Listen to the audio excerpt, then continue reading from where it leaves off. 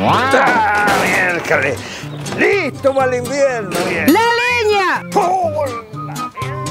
Ya, aquí tenemos la leña, apiladita, bajo techo y va a estar sequita para el invierno, miércoles. ¿Ah?